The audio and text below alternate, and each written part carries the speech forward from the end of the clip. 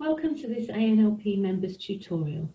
In this short video, I'm going to explain how to resubscribe for ANLP membership if your membership has expired for more than three months.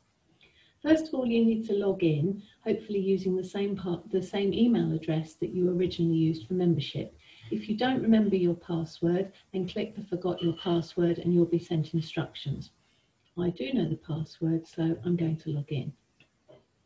Once logged in, you go to My Account. And as soon as you go there, you scroll down and you can see on the left-hand side, there is a Resubscribe Now. You click on this link and it will resubscribe you at the same membership level that you were originally subscribed as. Because your membership is more than three months out of date, you will be charged the, the uh, admin fee. You click proceed and confirm the terms and conditions and then pay to resubscribe.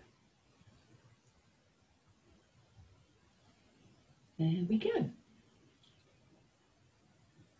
And you can see that your subscription was successful. Enjoy your new membership. You'll get that message to say so. You can now go back to your account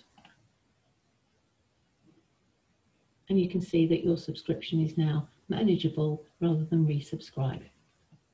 Thank you for watching and enjoy making the most of your ANLP membership.